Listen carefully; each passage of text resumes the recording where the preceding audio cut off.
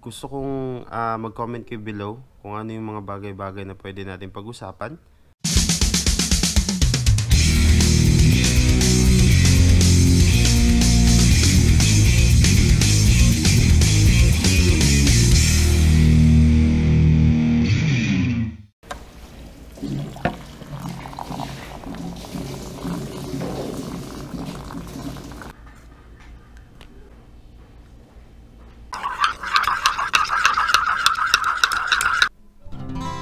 So, kaya nga nasabi ko kapitbahay, good morning sa'yo. Sa'yo yung nagkakape dyan, good morning. Sa akin, ewan ko kung umaga mo to tinitingnan yan or gabi. So, good morning sa mga umagang gumising. Good noon sa mga nagtatanghalian at magandang gabi sa inyo dyan sa naghahapunan. So, wala masyado tayong ganap ngayong araw na to.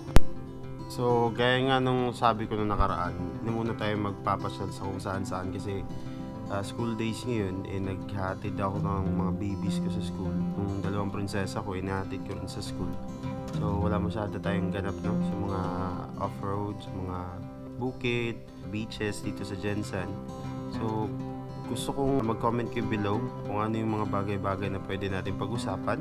What I have on mind right now is want to talk about inspirational videos. So, yun yung mga binabala ko ano, sa mga uh, kapitbahay natin diyang medyo medyo na, napaghinaan ng loob. So, tulungan natin silang silang lumakas ang loob nila. No? Yung akala nila wala ng pag-asa, bigyan natin sila ng dahilan kung bakit kailangan nilang lumaban at uh, kailangan nilang ipakita na kaya nila yung mga problema ganyan. Kasi wala namang problemang ibibigay yung, yung Diyos natin na hindi natin kakayanin. No? So, kasi ako, especially sa akin, ano, lahat ng problema ay may paraan. Hindi naman tatawaging problema yan kung walang sagot. Tama, di ba? Uh, pag may problema kang mabigat, kung di nyo na kaya, pag-usapan nyo. Makipag-usap sa pamilya mo or family member, sa tatay nyo, sa kapatid nyo, sa pinsan nyo, o kahit sa mga kaibigan nyo. Kahit tayo namang mga kaibigan, pag alam nating meron tayong mga kaibigang mabibigat yung problema, huwag na nating i-down kasi meron din akong mga napansin sa mga uh, magkakaibigan na for example when it comes to love yung kaibigan natin eh gustong humingi ng advice. Kasi nga ganito ganyan yung uh, boyfriend o girlfriend nila. Hindi nila nabibigyan ng panahon or um, sorry hindi mali pala. Hindi sila nabibigyan ng the same love na pinapakita nila.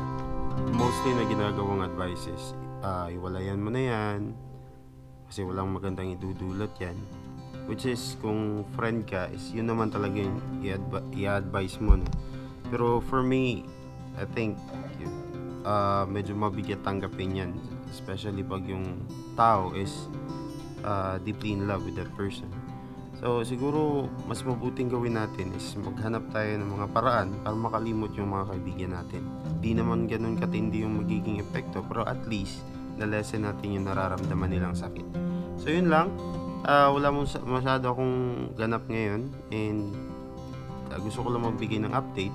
Shoutout niya pala dun sa kaibigan kong or kaibigan ko dito sa YouTube na si Otto Rosie. Uh, if you have time try to visit her page or her channel. And uh, every now and then yun no? Uh, mag mag-shoutout ako ng mga mag-shoutout ako ng mga mag-shoutout ako ng mga channel. Nabubulol na ko ewan ko So please like, share, and subscribe.